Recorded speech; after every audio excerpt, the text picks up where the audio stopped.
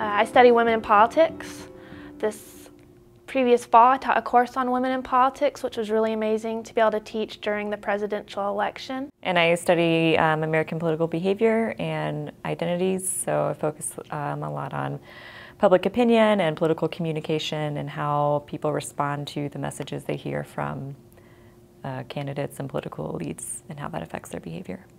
I think my perspective too, having studied women in politics and looking at the history of the women's movements over time and just seeing what it's been a struggle over time for women to gain the rights that they have now. I was researching and I had no idea that it wasn't until 1976 that the first marital rape law was passed or that in the 1960s, I believe, women still weren't able to have a credit card in their own name. Um, these sort of uh, achievements for women that really have only occurred recently. And I when I look at the discourse that was occurring during this election, it worried me about where we might be falling back to.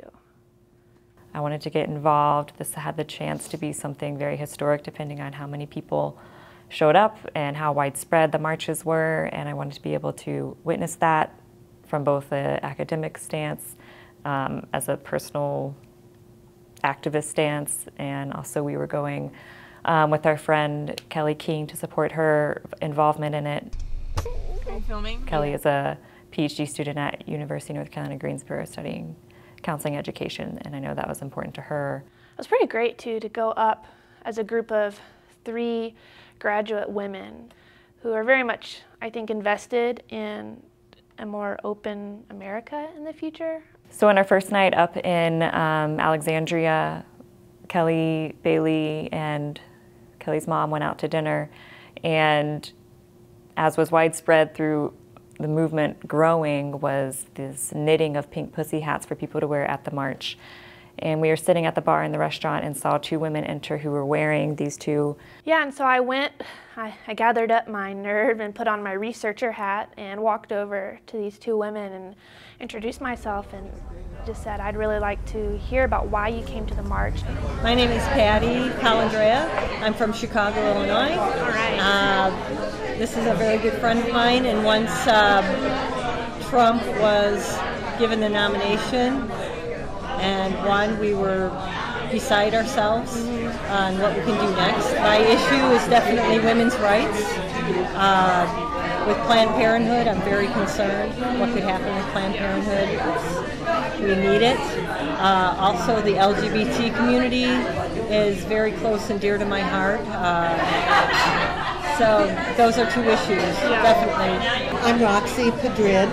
I am. I came here from Albuquerque, New Mexico, and uh, Patty's a good friend. So when we heard about the nomination, we talked and said, "Let's go." we heard there was going to be a march. And, and marching not just for women's rights, but for all the rights of the disenfranchised in our society um, that I am afraid are going to be overlooked in this new administration. I think the takeaway for me from what I heard from these women was that they had fought for women's rights already in their life, um, their lives, and they wanted to make sure that all of the achievements that women had gained over the past decades wasn't being eroded by the election of uh, this president who has made some concerning statements. Uh, and I think I was also excited to hear that they that although they were motivated by women's rights and concerns for women's rights, they're very much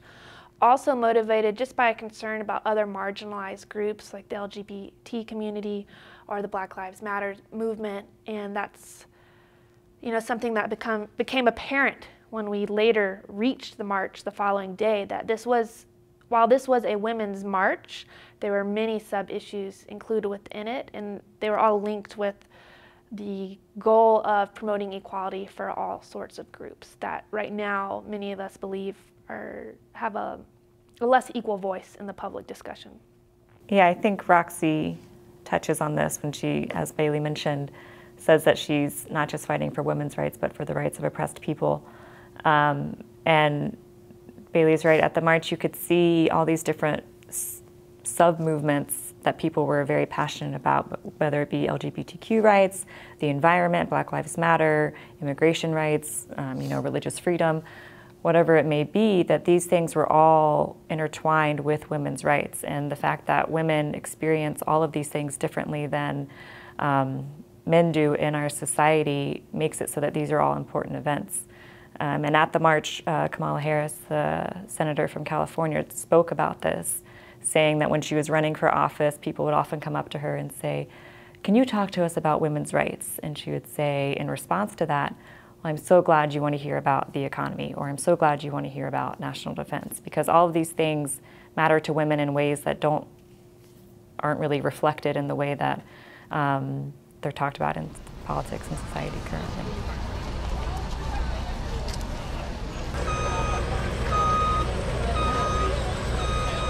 Um, and we got there pretty early, so it was hard for us to tell uh, amongst amidst the crowd how many people were there. You know, we couldn't get an aerial view to see just how far back the crowd went um, down Independence Ave. Um, but seeing footage later and reading about um, the estimated numbers later, I mean, I think it's at about 575,000 now that showed up in DC alone, um, which isn't the largest march that's been in DC. I mean, the Vietnam War protests in 69 had about 600,000. The Million Man March in 95 had about 900,000, but it's still one of the largest. And then across the whole United States, easily three and a half million mar- people marching for this. Um, one of the largest protests and demonstrations, I think, in the United States. Um, so it's definitely more than the organizers expected. I think we, um, the turnout was double what they expected to be in DC. Um, and so figuring out how to corral that large of a group of people was something they had to deal with. We will not allow our compassionate souls to get stepped on. We want the best for all Americans. No hate, no bigotry, no Muslim registry. We value education, and equality. Yeah, and I guess we did get a sense of how big it was. The, the small clues was one, we couldn't move. we got to our spot and we stayed there for five hours because there, I mean, there was nowhere to go. And you knew that if you left your spot also, you'd never get it back, right? So people were trying to shift through at times because they need to use the restroom or find a missing group member and they'd squeeze on by. But early on, we were just like, we're just going to stay here. We're not going anywhere. And I think once they actually started, once the group actually started marching, um, it became clear that it was too big of a crowd to really put down one certain march path. So initially we were supposed to march down Constitution, I believe. It ended up marching down Pennsylvania. Um, to the White House, and you know the police blocked off streets. There was no way that they could keep that many people contained to a smaller area. I mean, and people were just spilling out everywhere. I mean, all of Pennsylvania Ave was completely packed. Along the sides of the street were bleachers from the inaugural parade where people were filled in and cheering. Along all the buildings on Pennsylvania Ave, people are out on the balconies, up on the roofs, cheering down.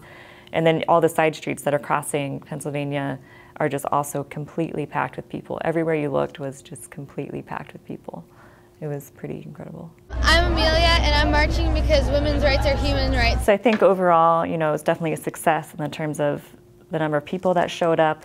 The organizers did really um, made a concerted effort to make sure that the speakers that they had at the march were um, representing all different kinds of ethnic groups and racial groups and sexual identifications, religious identifications, um, in an attempt to be inclusive. Um, I think something that I felt like was really highlighted by the experience was that we still have a long way to go. Um, not only in making sure that the message from the march is heard by you know the current administration and people that are in office, but also a long way to go within ourselves. And um, this conversation that needs to happen within the women's rights movement with women of different, you know, women of color experiencing things different than white women, and women of different sexual identifications experiencing thing different, experiencing things differently than straight women. Um, and being able to recognize your privilege within the group of women. You know, this isn't overall an oppressed group, but there are still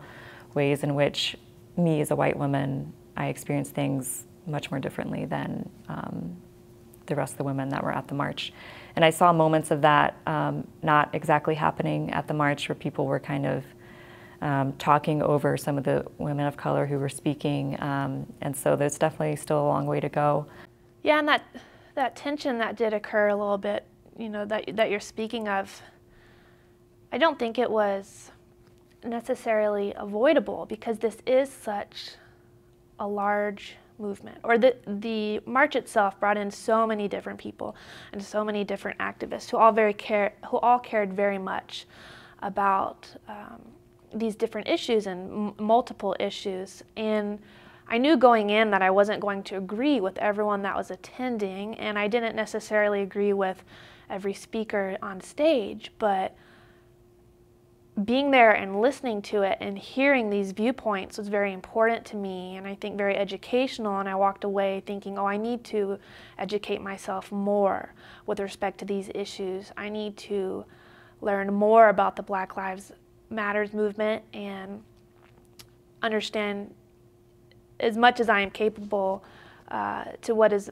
motivating them and the and the struggles they face, and understand more about the environment and the LGBT community. And so, while there was that tension, and it definitely showed that we have a lot of work to go or to to do.